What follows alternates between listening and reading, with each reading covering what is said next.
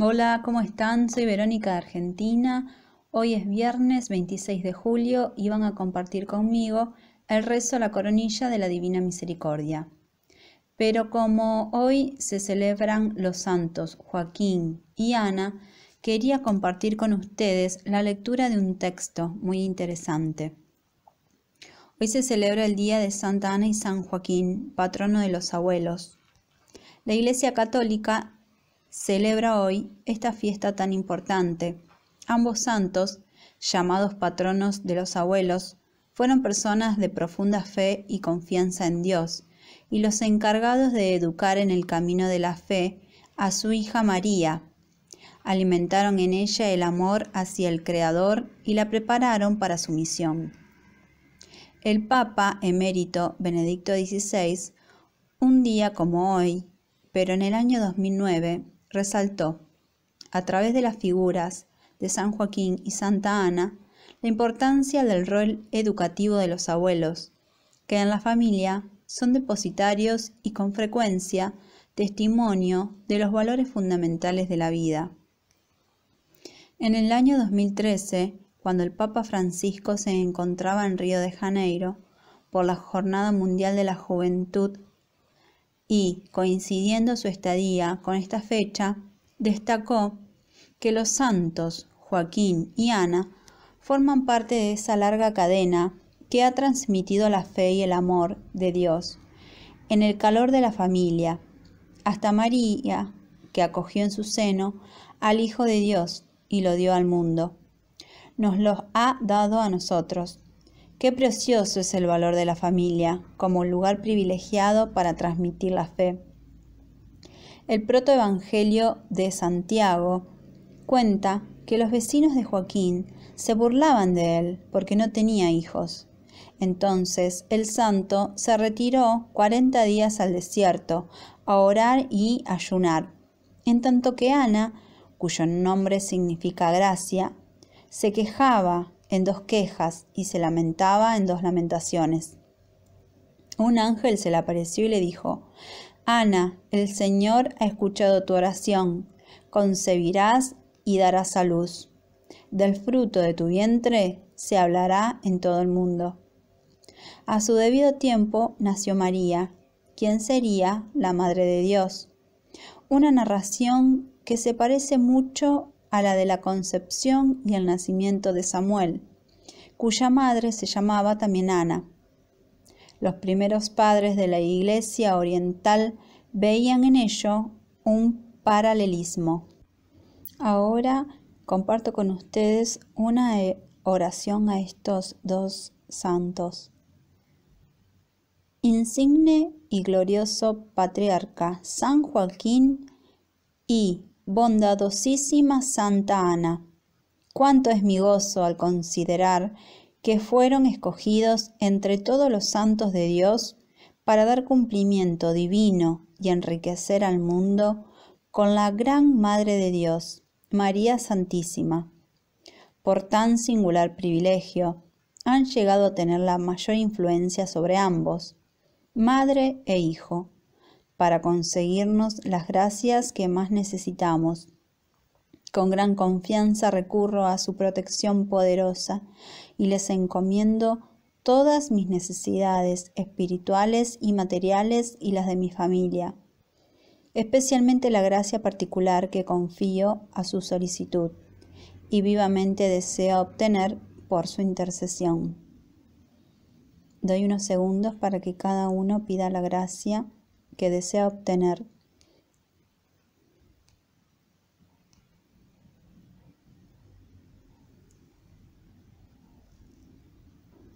Como ustedes fueron ejemplo perfecto de vida interior, obténganme el don de la más sincera oración, que yo nunca ponga mi corazón en los bienes pasajeros de esta vida. Denme vivo y constante amor a Jesús y a María obténganme también una devoción sincera y obediencia a la Santa Iglesia y al Papa, que la gobierna para que yo viva y muera con fe, esperanza y perfecta caridad. que yo siempre invoque los santos nombres de Jesús y de María, y así me salve. Amén. Bueno, continuamos con la oración al Espíritu Santo. Oh Espíritu Santo, amor del Padre y del Hijo, inspírame siempre lo que debo pensar, lo que debo decir, cómo debo decirlo, lo que debo callar, lo que debo escribir, cómo debo actuar, lo que debo hacer para procurar tu gloria, el bien de las almas y de mi propia santificación. Espíritu Santo, ilumina mi entendimiento y fortifica mi voluntad Dame agudeza para entender, capacidad para retener, método y facultad para aprender, sutileza para interpretar, gracia y eficacia para hablar. Dame acierto para empezar, dirección al progresar y perfección en el acabar. Amén. Coronilla a la misericordia. La coronilla o rosario de la misericordia es un acto de misericordia hacia el prójimo ya que en él pedimos la misericordia no solo para nosotros, sino por aquellos por quienes rezamos y por el mundo entero. Jesús vinculó a este rosario promesas y gracias extraordinarias. El que rezare esta coronilla estará cubierto por un gran manto de misericordia en la vida, pero especialmente en la hora de la muerte. Por el rezo de esta coronilla me place dar todo lo que me pidan si es compatible con mi voluntad si se rezare al lado de los que están en trance de muerte, estos últimos obtendrán la gracia del perdón. Hasta el pecador más empedernido, si reza este rosario una vez tan solo, recibirá gracia de mi misericordia infinita. Yo ofrezco esta coronilla especialmente por las almas del purgatorio y por la conversión de muchas personas, pero en especial de las personas que tengo en el corazón en este momento. Pedimos también por todas sus intenciones. En el nombre del Padre, del Hijo, del Espíritu Santo. Amén. Padre nuestro que estás en el cielo, santificado sea tu nombre, venga a nosotros tu reino, hágase tu voluntad en la tierra como en el cielo. Danos hoy nuestro pan de cada día, perdona nuestras ofensas, como también nosotros perdonamos a los que nos ofenden. No nos dejes caer en la tentación, y líbranos del mal. Amén. Dios te salve María, llena eres de gracia, el Señor es contigo. Bendita tú eres entre todas las mujeres, y bendito es el fruto de tu vientre Jesús. Santa María, Madre de Dios, ruega por nosotros pecadores, ahora y en la hora de nuestra muerte. Amén. Creo en Dios Padre Todopoderoso, Creador del cielo y de la tierra. Creo en Jesucristo, tu, su único Hijo, nuestro Señor, que fue concebido por obra y gracia del Espíritu Santo. Nació de Santa María Virgen, padeció bajo el poder de Poncio Pilato, fue crucificado, muerto y sepultado, descendió a los infiernos, al tercer día resucitó de entre los muertos, subió a los cielos, está sentado a la derecha de Dios Padre Todopoderoso desde allí ha de venir a juzgar a vivos y muertos. Creo en el Espíritu Santo, la Santa Iglesia Católica, la comunión de los santos, el perdón de los pecados, la resurrección de la carne y la vida eterna. Amén. Padre eterno, te ofrezco el cuerpo, la sangre, el alma y la divinidad de tu amadísimo Hijo, nuestro Señor Jesucristo, como propiciación de nuestros pecados y los del mundo entero por su dolorosa pasión, ten misericordia de nosotros y del mundo entero. Por su dolorosa pasión, ten misericordia de nosotros y del mundo entero. Por su dolorosa pasión, ten misericordia de nosotros y del mundo entero. Por su dolorosa pasión, ten misericordia de nosotros y del mundo entero. Por su dolorosa pasión, ten misericordia de nosotros y del mundo entero por su dolorosa pasión, ten misericordia de nosotros y del mundo entero. Por su dolorosa pasión, ten misericordia de nosotros y del mundo entero. Por su dolorosa pasión, ten misericordia de nosotros y del mundo entero. Por su dolorosa pasión, ten misericordia de nosotros y del mundo entero por su dolorosa pasión, ten misericordia de nosotros y del mundo entero. Padre eterno, te ofrezco el cuerpo, la sangre, el alma y la divinidad de tu amadísimo Hijo, nuestro Señor Jesucristo, como propiciación de nuestros pecados y los del mundo entero. Por su dolorosa pasión, ten misericordia de nosotros y del mundo entero. Por su dolorosa pasión, ten misericordia de nosotros y del mundo entero. Por su dolorosa pasión, ten misericordia de nosotros y del mundo entero. Por su dolorosa pasión, ten misericordia de nosotros y del mundo entero. Por su dolorosa pasión, ten misericordia de nosotros y del mundo entero. Por su dolorosa pasión, ten misericordia de nosotros y del mundo entero. Por su dolorosa pasión, ten misericordia de nosotros y del mundo entero. Por su dolorosa pasión, ten misericordia de nosotros y del mundo entero. Por su dolorosa pasión, ten misericordia de nosotros y del mundo entero por su dolorosa pasión, ten misericordia de nosotros y del mundo entero. Padre eterno, te ofrezco el cuerpo, la sangre, el alma y la divinidad de tu amadísimo Hijo, nuestro Señor Jesucristo, como propiciación de nuestros pecados y los del mundo entero. Por su dolorosa pasión, ten misericordia de nosotros y del mundo entero por su dolorosa pasión, ten misericordia de nosotros y del mundo entero. Por su dolorosa pasión, ten misericordia de nosotros y del mundo entero. Por su dolorosa pasión, ten misericordia de nosotros y del mundo entero. Por su dolorosa pasión, ten misericordia de nosotros y del mundo entero. Por su dolorosa pasión, ten misericordia de nosotros y del mundo entero. Por su dolorosa pasión, ten misericordia de nosotros y del mundo entero.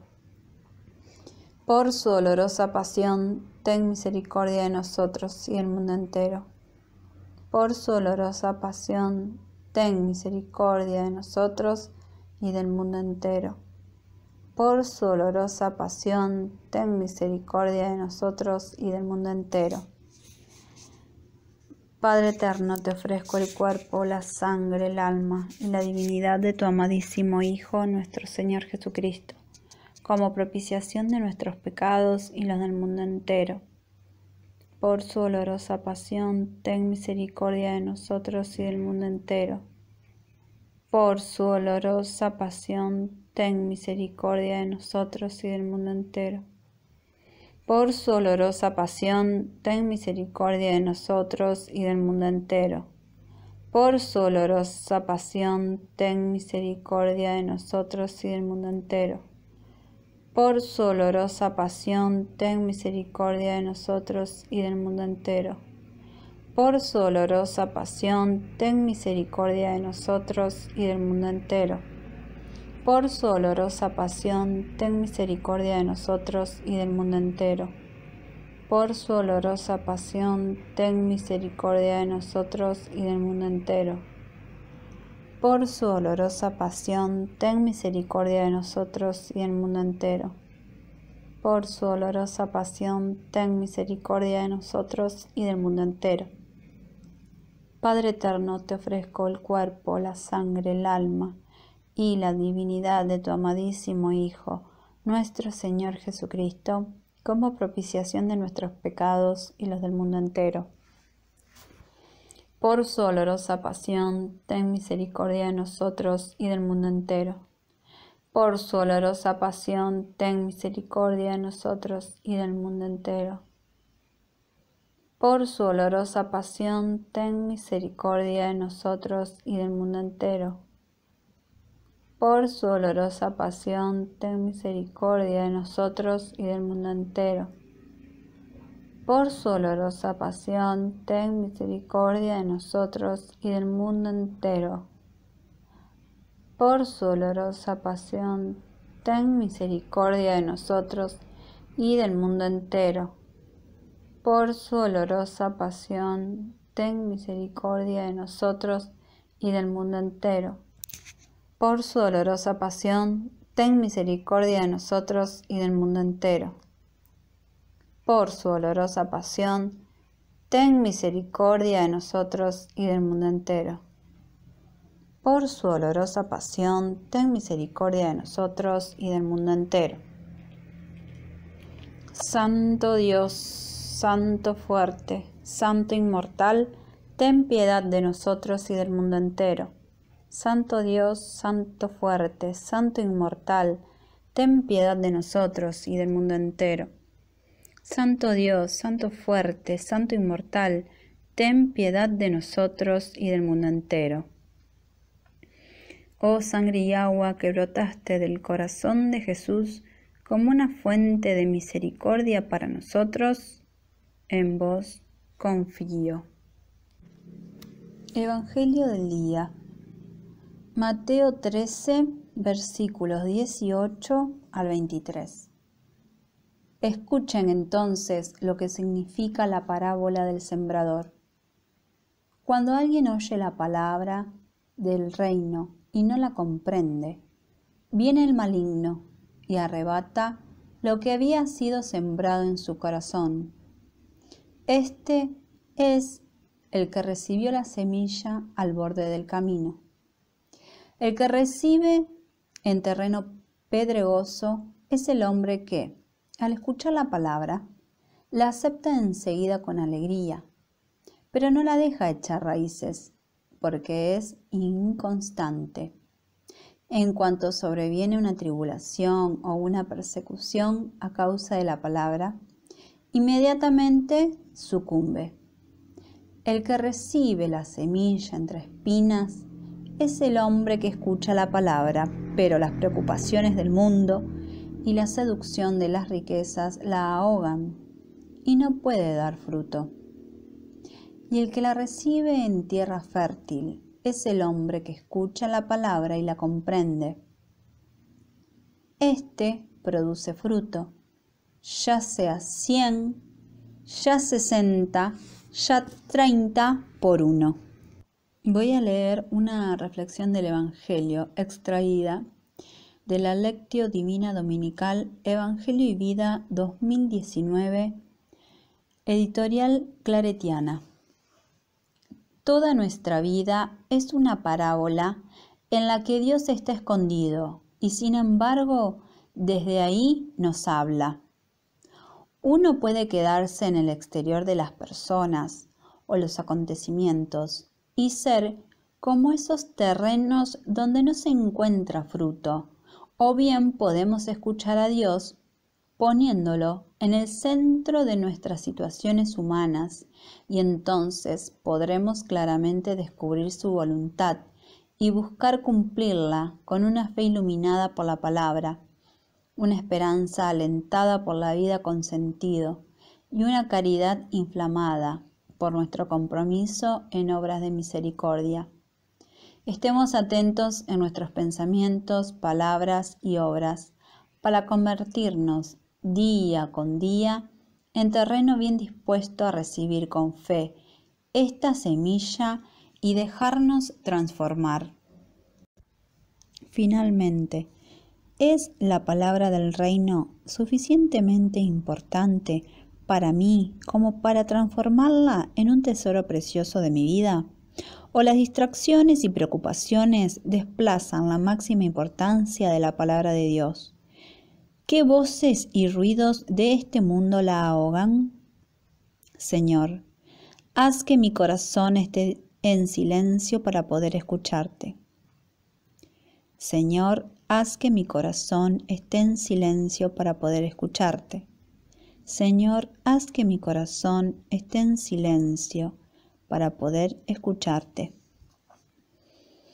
Bueno, acá terminamos nos encontramos esta noche en el Rosario de las 11 pm. Saludos.